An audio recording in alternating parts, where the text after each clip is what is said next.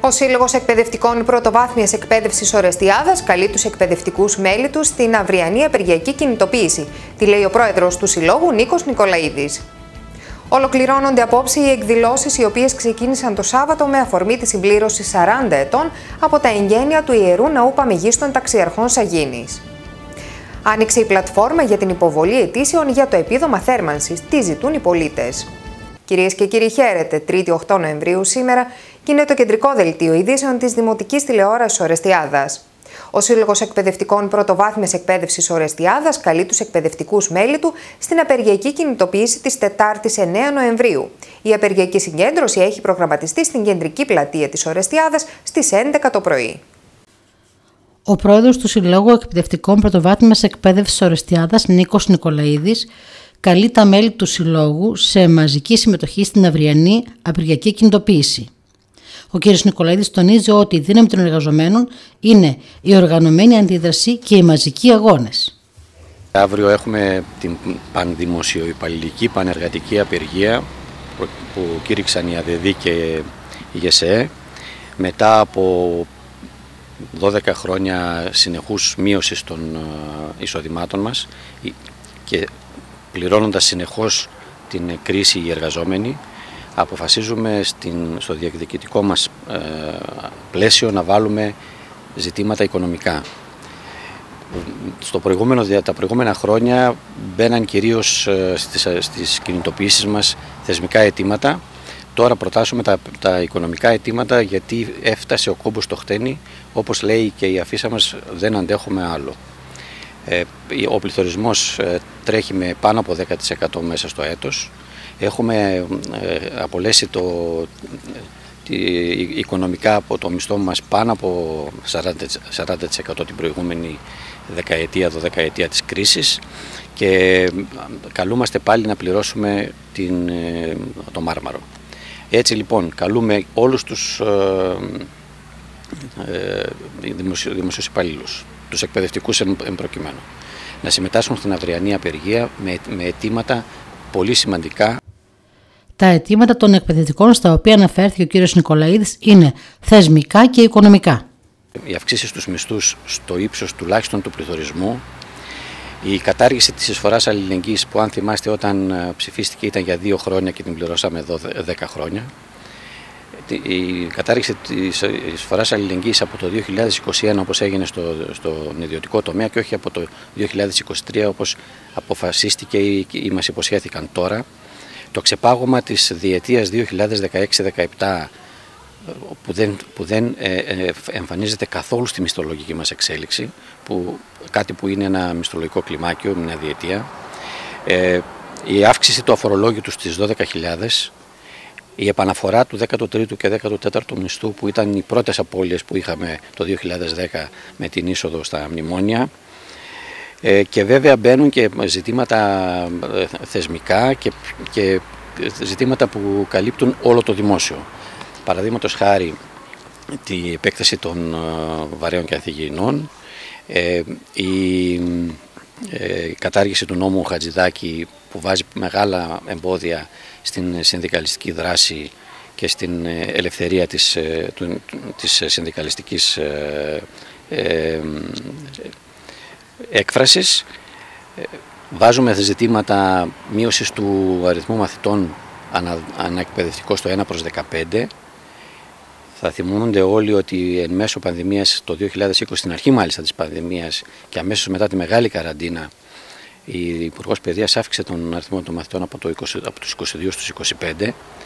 Η Διδασκαλική Ομοσπονδία τα τελευταία χρόνια διεκδικούσε 1 προς 20 στο Δημοτικό Σχολείο και ένα προς 15 στον Νηπιαγωγείο. Τώρα η ΑΔΔ έρχεται και βελτιώνει το αίτημα ε, στα πραγματικά, στις πραγματικές ανάγκες, δηλαδή στο 1 προς 15 ε, μαθητές παντού. Και τέλος βάζουμε και ένα ζήτημα ε, πολύ κέριο, όχι στις ιδιωτικοποιήσεις ε, οργανισμών και φορέων που ε, έχουν στα χέρια τους δημόσια αγαθά. Θα θυμάστε πολύ πρόσφατα όταν ιδιωτικοποιήθηκε η ΔΕΗ μας είχαν πει ότι αυτό θα, θα οδηγούσε σε φθηνότερη ενέργεια και σε φθηνότερο ρεύμα και βλέπουμε στις ημέρες μας που έχουμε ε, καταλήξει. Το ίδιο φοβόμαστε ότι θα συμβεί και με το νερό που η ιδιωτικοποίησή του ε, συζητείται συνεχώς τα, τα, τα τελευταία ένα-δύο χρόνια. Λέμε λοιπόν όχι στις ιδιωτικοποιήσεις αυτές, επαναφορά των φορέων αυτών που έχουν στην ευθύνη τους τέτοια δημόσια αγαθά, επαναφορά στον δημόσιο έλεγχο. Ολοκληρώνονται απόψε οι εκδηλώσεις οι οποίες ξεκίνησαν το Σάββατο με αφορμή τη συμπλήρωση 40 ετών από τα εγγένεια του ιερού ναού Παμεγίστων Ταξιαρχών Σαγίνης. Ο ναός υποδέχθηκε την κάρα του Αγίου Παντελεήμονο του Ιαματικού, ενώ χθες παραμονή της εορτής των Αγίων Ταξιαρχών πραγματοποιήθηκε και περιφορά. 40 χρόνια συμπληρώνεται από τα εγγένεια του ιερού ναού Παμεγίστων Ταξιαρχών Σαγίνης. Παραμονή της εορτής των Αγίων πραγματοποιήθηκε μέγας πανηγυρικός εσπερινός και λιτάνευση της εικόνας των Παμεγίστων Ταξιαρχών και της τίμιας κάρας του Αγίου Παντελεήμονος.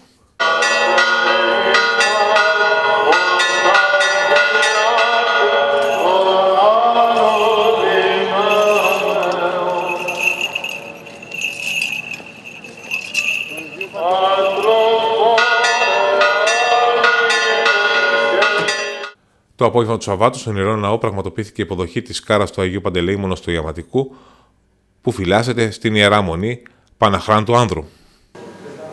Αναρρύθμιτοι οι άγγελοι, η Ιερά Παράδοση συνηθίζει να τους κατατάσσει σε εννέα τάγματα που διαιρούνται σε τρίες τριαδικές διατάξεις. Η πρώτη είναι κοντά στο Θεό και είναι αμεσολαβήτως ενωμένη με Αυτόν. Συμπεριλαμβάνει τα Σεραφείμ, το όνομα των οποίων στα εβραϊκά προέρχεται από το ρήμα «καίο», πυρπολό. Κινούνται συναχώς και σταθερά γύρω από τον Θεό και παίρνουν από Αυτόν την εξουσία να ανυψώνουν τους υφιστάμενους τους προς τον Θεό, αναζωπυρώνοντας εντός τους την καθαρτική και φωτιστική δύναμη της αρετής.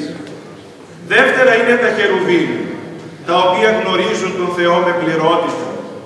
Λέγεται πως είναι πολιώματα, σημείο θεοτίας και δεκτικότητας του φωτός του Θεού. Τρίτη είναι οι θρόνοι, στους οποίους ο Θεός επαναπάβεται με πάσα αναπάθεια. Η δεύτερη τάξη μεταδίδει τις εντολές του Θεού από την πρώτη στην τρίτη τάξη και ανυψώνει τους αγγέλους προς την μίμηση του Θεού. Αποτελείται από κυριότητες, δυνάμεις και εξουσίες. Η τρίτη τάξη περιλαμβάνει τις αρχές, τους αρχαγγέλους και τους αγγέλους. Με τους τελευταίους ο Θεός μας καθιστά κοινωνούς των εντολών της πρόνοιάς Του, καθώς είναι η πλησιέστερη σε εμάς. Το Εργατοϊπαλληλικό Κέντρο Ορεστιάδας καλεί τα σωματεία μέλη του και όλους τους εργαζομένους της πόλης στην 24ωρη πανελλαδική απεργία την Τετάρτη 9 Νοέμβρη και ώρα 10.30 στην κεντρική πλατεία Ορεστιάδας.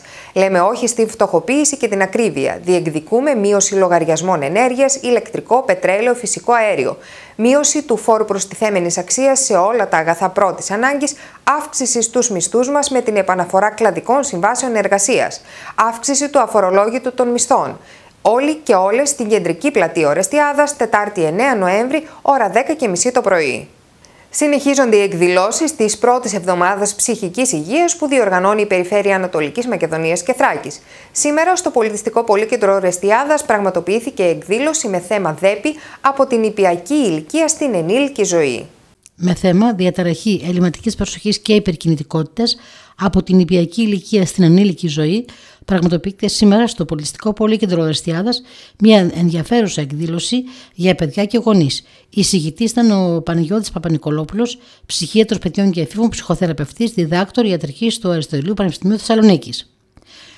Φορέας, η κινητή μονάδα ψυχικής υγείας του Νοσοκομείου Αλεξανδρούπολης, παιδοψυχιατρικές υπηρεσίες και η εκδήλωση εντάσσεται στην πρώτη εβδομάδα ψυχικής υγείας. Είναι η πρώτη προσπάθεια που κάνουμε εμείς σαν ε, νεοσύστατη κινητή μονάδα ψυχικής υγείας για παιδιά και εφήβους συγκεκριμένα εδώ πέρα στον Εύρο. Ε, περιμένουμε να έχει ανταπόκριση, είναι από τα πρώτα δειλά βήματα που γίνονται. Ε, το θέμα είναι η ΔΕΠΗ, ε, που είναι ένα θέμα πολύ ακουστό αλλά λίγο γνωστό. Δηλαδή, πολλοί έχουμε ακούσει για τη ΔΕΠΗ, αλλά λίγα γνωρίζουμε σχετικά με αυτήν. Ε, το κύριο κοινό είναι οι γονείς και οι εκπαιδευτικοί, γιατί αυτά τα παιδιά παρότι ε, είναι ακριβώς όπως άλλα τα άλλα τα παιδιά, ε, ταλαιπωρούνται λίγο παραπάνω και ε, ως μέσα σε μια οικογένεια και μέσα στο σχολικό πλαίσιο, οπότε η ευαισθητοποίηση σίγουρα θα βοηθήσει αυτά τα παιδιά, τα οποία το ποσοστό αγγίζει μέχρι και το 10% του μαθητικού πληθυσμού, ε, προκειμένου να έχουν οι γνώσεις και οι εκπαιδευτικοί και οι γονείς, ώστε αυτά τα παιδιά ε, να μην συναντάνε ε, δυσκολίες τόσο στα θέματα τα μαθησιακά, τα θέματα τα ψυχολογικά, τα θέματα σε σχέση με τους φίλους τους, γιατί πολύ εύκολα γίνονται, γίνονται στόχος και μέσα σε μια οικογένεια και μέσα στο σχολικό πλαίσιο. Είναι απαραίτητο να γίνει και η ενημέρωση μέσα στα σχολεία; Ε, αυτό το χρόνο που πέρασε, που ήταν ο πρώτος χρόνος δράσης μας, έγιναν και αντίστοιχες ενημερώσεις μέσα στα σχολεία. Βέβαια αυτό είναι πιο μεμονωμένο γιατί ε, άλλο είναι ε, όλοι οι εκπαιδευτικοί ενός μιας περιοχής ε, να ενημερωθούν και άλλο εμείς να πηγαίνουμε σε κάθε σχολείο ξεχωριστά. Αυτή είναι η πρώτη προσπάθεια που γίνεται μαζικά σε εκπαιδευτικούς της περιοχής ε, προκειμένου να βοηθήσουμε αυτά τα παιδιά στα οποία εμπλέκονται πολύ ειδικοί, δηλαδή εμπλέκονται και εργοθεραπευτές και λογοθεραπευτές και ειδικοί παιδαγωγοί και εκπαιδευτικοί και οι γονείς. Οπότε θέλουμε τη συμβολή όλων προκειμένου αυτά τα παιδιά να τύχουν τις αντιμετώπισης που τους αξίζει άνοιξε η πλατφόρμα για την υποβολή αιτήσεων για το επίδομα θέρμανσης. Εκτός από το πετρέλαιο, επιδοτείται η χρήση καυσόξυλων, πέλετ φυσικού αερίου και υγραερίου. Το ποσό φέτος είναι αυξημένο, οι πολίτες όμως ζητούν μεγαλύτερη ενίσχυση. Άνοιξε η ειδική πλατφόρμα για τις αιτήσεις σχετικά με το επίδομα θέρμανσης. Και μπορεί στη Θράκη ακόμα οι καιρικές συνθήκες να λειτουργούν αποτρεπτικά για τη χρήση συστημάτων θέρμανσης, όμως σύντομα καλοριφέρ, σόμπες και τζάκια θα ανάψουν. Τόσο που πάει το πετρέλαιο η τιμή, τι να πω. Αυξήθηκε φέτος. Κάτι είναι και αυτό. Αυξήθηκε, ναι, βέβαια. Τι να πω. Κάτι είναι και αυτό. Το επίδομα για το πετρέλαιο θέρμανσης που θα λάβουν φέτος οι δικαιούχοι είναι αυξημένο. Επιπλέον κερδισμένοι είναι οι καινούργιοι δικαιούχοι που θα επιλέξουν για πρώτη φορά φέτος το πετρέλαιο θέρμανσης, καθώς το επίδομα θα ανέρχεται έως και τα 1600 ευρώ. Παράλληλα, οι πολίτες που ζουν στις ορεινές περιοχές ενδέχεται να λάβουν επίδομα έως και 1000 ευρώ, καθώς προβλέπεται ειδική προσάυξη 25%.